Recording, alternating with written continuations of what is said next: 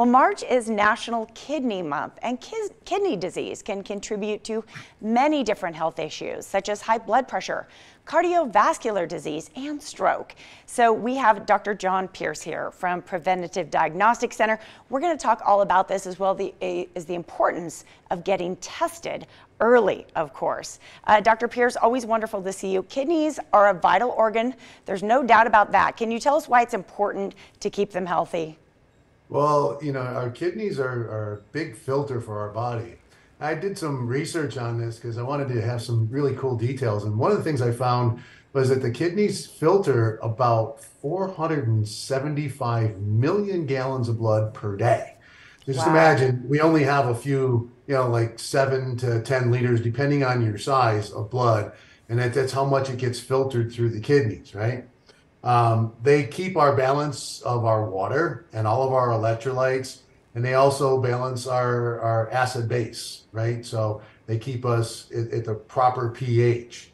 Um, they are, are involved in making a, a, hormone called erythropoietin, which causes our body to make more red blood cells. So the kidneys are very important in us being able to maintain our red blood cell volumes because those cells don't last forever. They're going to, you know, die, and our body has to make new ones to to replace them.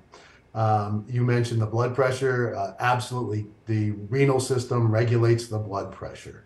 Um, and one of the other neat things is it actually takes vitamin D, and, and and the kidneys take it from an inactive form and make it active for our body. So those are some of the things and real important things that the kidneys do. It is so important to keep them healthy. Let's talk about some of the risk factors you think people should be aware of when it comes to increasing the likelihood of kidney disease. Well, you know, smoking is absolutely one of them. Uh, any anytime anybody smokes, you create a, a plethora of different health disease uh, risk factors. Uncontrolled diabetes, uh, that's another risk factor. Uh, we know that uh, diabetics are prone to renal failure and end up having to be on dialysis. Not everybody, but uh, if you don't keep it under control, that, that's a, a definite possibility. Um, obesity is another one. Uh, unfortunately, race plays a role in this. Uh, Native Americans, African Americans are much higher risk for renal disease. Family history, um, and you may have, you know, a birth issue where you have a, an abnormal um, structure of your kidney, which can cause problems as well.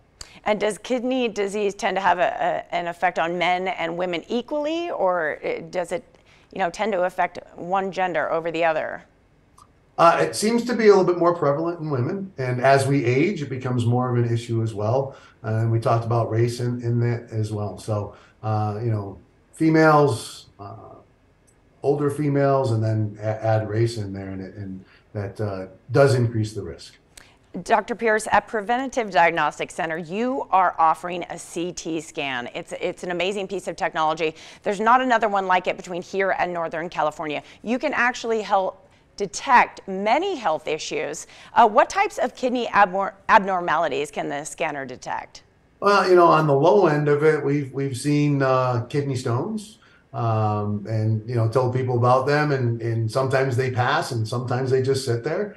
Uh, we've seen where kidney stones have actually um, blocked the ureter. So that's the little tube that goes from the kidney to the bladder. And then when we when that happens the kidneys back up with urine and that's called hydronephrosis. So we've seen that and had to tell people listen you need to get in to see somebody because that needs to be addressed because that can cause long-term kidney damage uh, we've seen cysts in the kidneys, which are very common findings, and there's really nothing to do for those.